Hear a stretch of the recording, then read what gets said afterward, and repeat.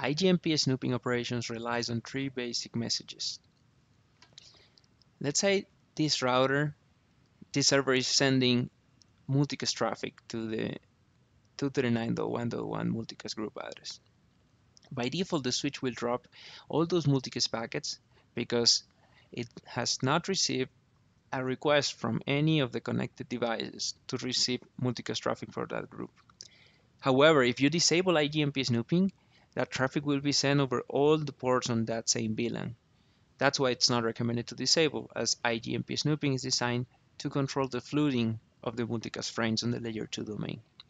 Once a, a, client is interested in receiving that traffic, it will send an IGMP join specifying that it wants to receive traffic for that specific group. When this happens, the switch will update its IGMP table and will forward multicast traffic from the server to that port. Keep in mind that it will only forward that traffic to the ports where it has received an IGMP membership report or IGMP join. That's the first of the messages. Now let's say that the client is done with the multicast stream and it closes the video application.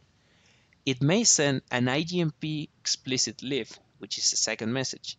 This will make the switch update its table and prevent multicast traffic for that specific group to be forwarded through that interface.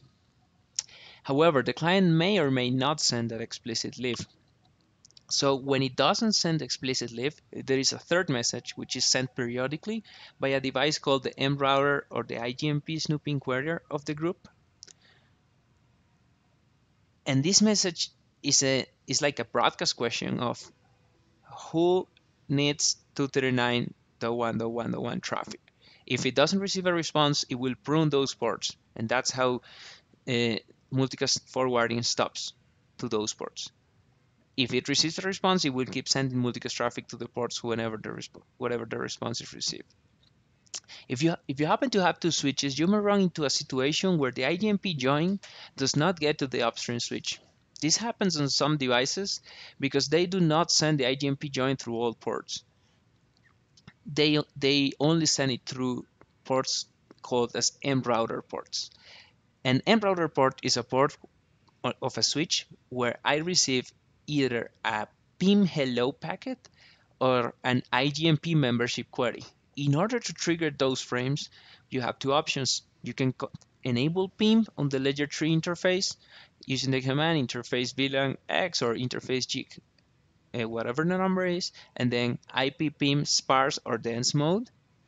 Or you can, if you don't want to enable PIM, you can do IP IGMP snooping querier for that VLAN that device will be in charge of sending the membership queries.